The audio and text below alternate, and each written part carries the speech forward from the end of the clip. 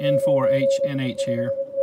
I continue to be amazed at the receiver in this Yaesu FTDX 5000 MP Limited.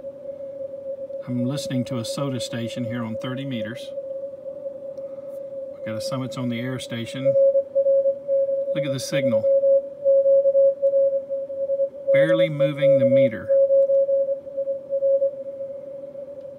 But the filtering in this radio is just pulling it right up out of there. Listen, look at this. So the APF, which is the key, turning off all the filtering. Now I'm just running with a 300 hertz roofing filter. I'll switch that here. There's a 600.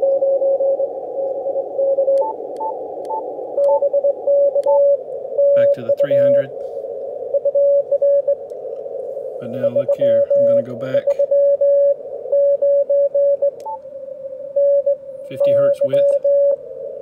So there's 300, that'd be the equivalent of just running the roofing filter.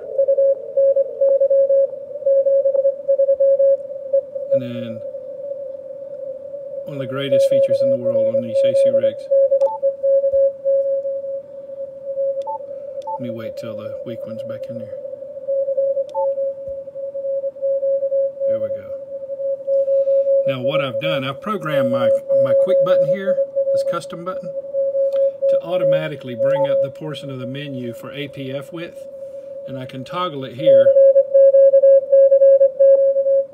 See super narrow versus regular narrow. Of course there's medium and wide. I generally like super narrow on those really weak stations. The volume cuts a little bit as you can tell, but uh, they're very intelligible.